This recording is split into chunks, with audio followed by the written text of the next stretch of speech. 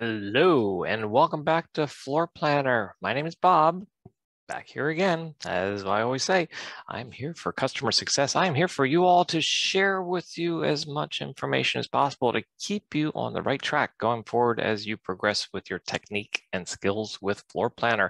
Um, Happy New Year. Um, we're going to be talking today about a couple updates that were added last month for the month of January 2022. So let's get started. Um, I want to show you where to find those new features as new updates uh, as they go live in your system. You do get notification on that. And so to do so, I'm actually in my Floorplanner account currently. And if you just go to your profile tab in the upper left-hand corner, those four squares up there, that'll get you to your profile tab. And in your profile tab, you get the right-hand sidebar. With that right-hand sidebar, sure enough, there are the new features listed right here. Here's the two we're going to be talking about today. They most current do surface to the top. So if we go in there and I go ahead and hit the more button in there, it actually goes right to the updates.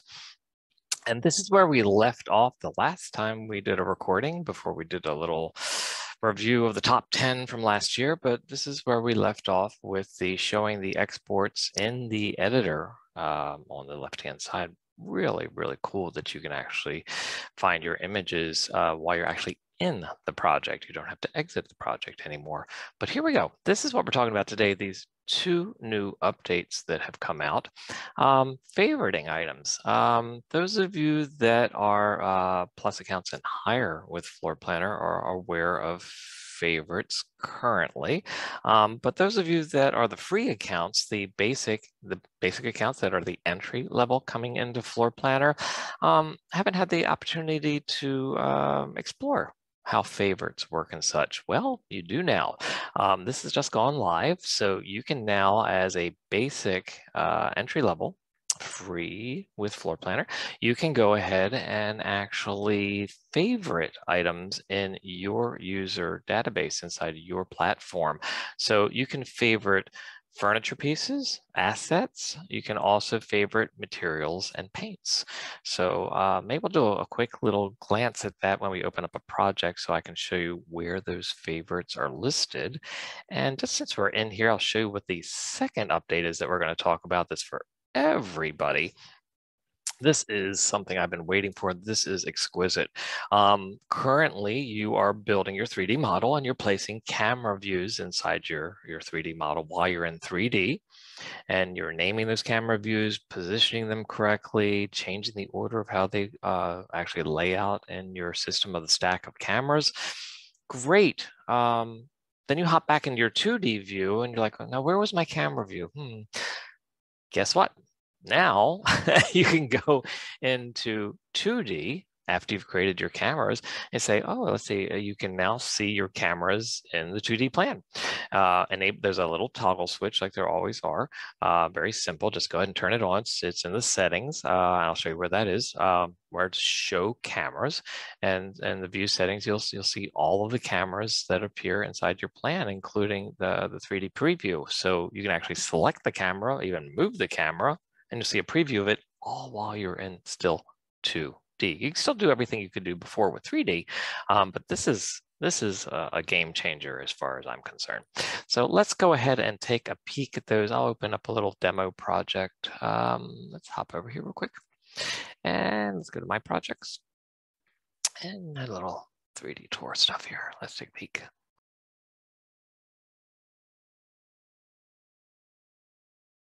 So here is a project and it has cameras that I've already created. I've created the cameras actually over here in 3D.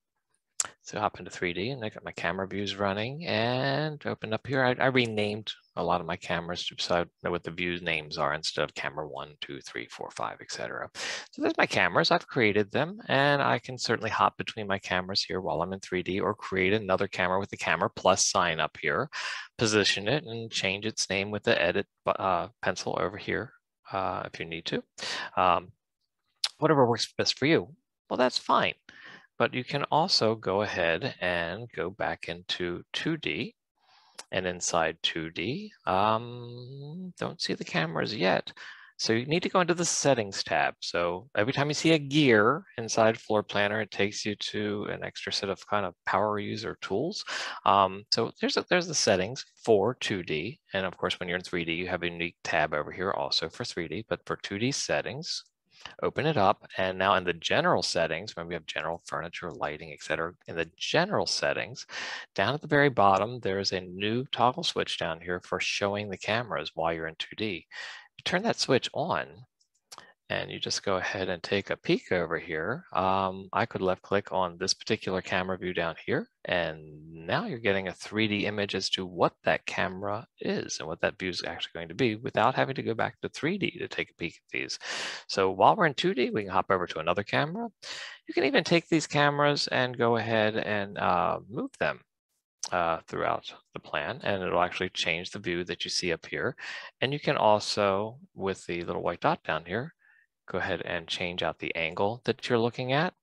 And also while it's still selected, you get the left-hand sidebar, which is typical with anything. Click on it, left click, and you get the left-hand sidebar with anything. So even a camera, do the same. And you get the left-hand sidebar. Currently, the left-hand sidebar is powered at this point um, that you can actually change the set elevation of the camera for its viewing.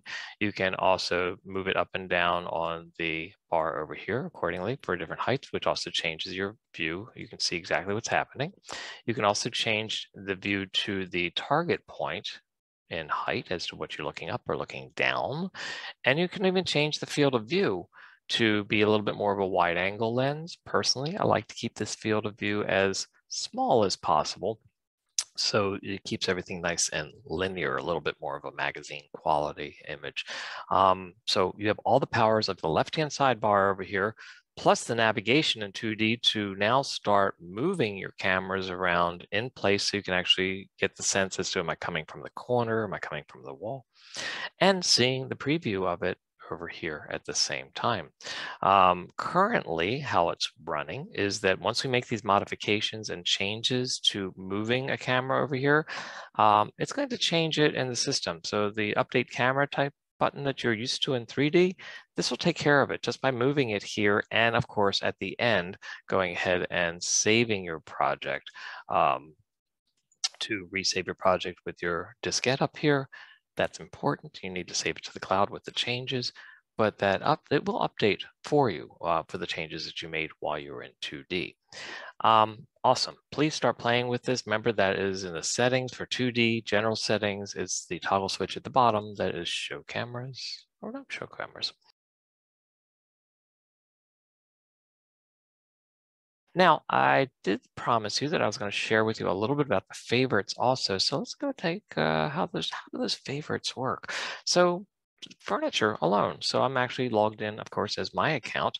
So, you know, maybe I uh, fell in love with this particular sofa, this chair or a specific light fixture. If you left click on it, again, left click once, you get the left-hand sidebar. With the left-hand sidebar, you have uh, all the information about that particular item. Plus, you start noticing these little stars that show up or there may be an eye for an info button that goes to a star. The stars are your favorites. So now if you're a basic user, the free entry level with Floorplanner, you also can favorite to a limited amount where others do not have the limit, but you'll have a limited uh, opportunity to do this. You can go up to 20 different items. Um, so you just go ahead and click the star and notice that it turned blue. Um, and now with that item now being favorited, so when I'm working on a brand new project, this will stay in my favorites until I would ever take it out of my favorites. So go back for a second. And when I'm looking at maybe my assets down here, so these are my furniture assets, my three-dimensional assets inside here. I also have another star up here. Now that star is actually where you're, you, specific to you as a user, you'll actually see any of the items that you've actually favorited. And these are all the items that I've favorited in the past, things that I like to use over and over again. And there it is. There's that same chair that I just favorited. So every time I start a brand new project or while I'm working on this project, until I would unfavorite them, I can just now take it from here and just go ahead and drag in another chair. Um, again, this is really great when, when you find those favorite lamps, favorite plants, favorite accessories that you like to work with and you want to keep them handy instead of having to do a search for them out of 150,000 assets. Nice to have them convenient and ready to go.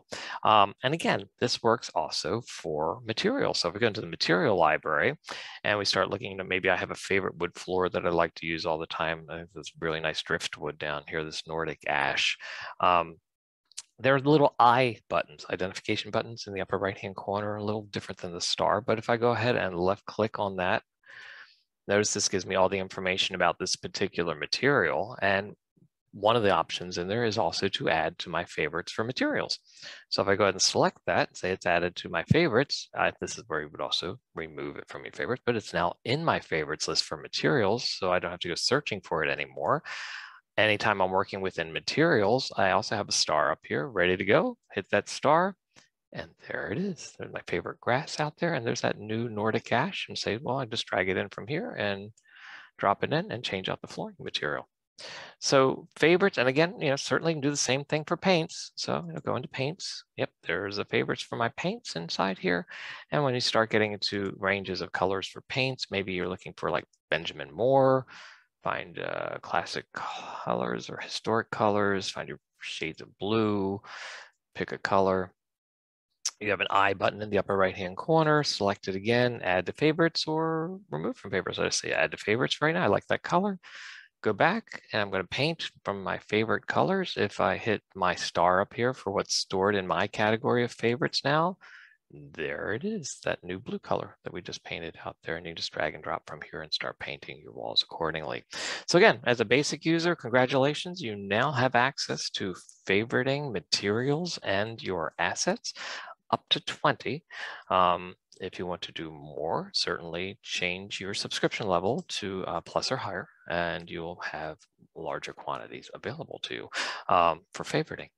Appreciate your time today. Hope you have a chance to explore these. Check out those new cameras in 2D. I think this is awesome. I think you have a lot of fun with it. And I look forward to seeing you maybe at one of my future live webinars or catch me again the next recording for next month. I hear there's a lot in the pipeline. A lot of excitement coming up. Have a great day. Thanks.